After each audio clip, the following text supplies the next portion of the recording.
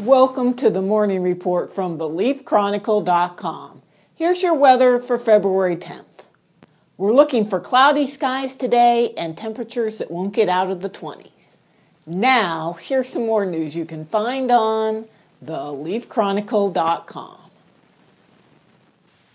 The Montgomery County Animal Control and Adoption still has its challenges, but adoption rates are up and euthanasia rates are falling, says Animal Control Director Tim Clifton.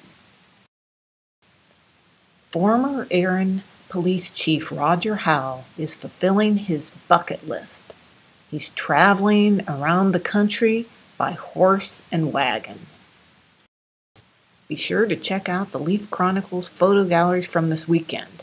Included are reader submitted photos of the brief but memorable snow we had on Saturday.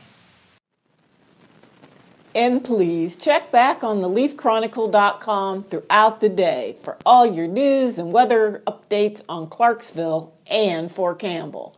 I'm Alane Megna reporting for The Leaf Chronicle.